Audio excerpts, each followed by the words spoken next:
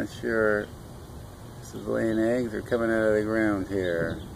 I think this guy's coming out of the ground, but I'm not sure what it is. So taking a little video here. See if anyone